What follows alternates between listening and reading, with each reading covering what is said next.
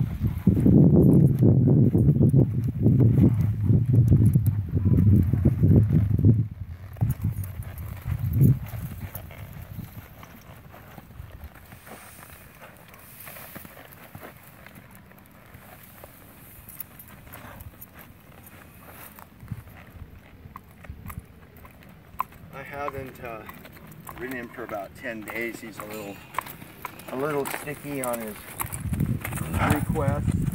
I like to try and ride him as light as possible, and then when he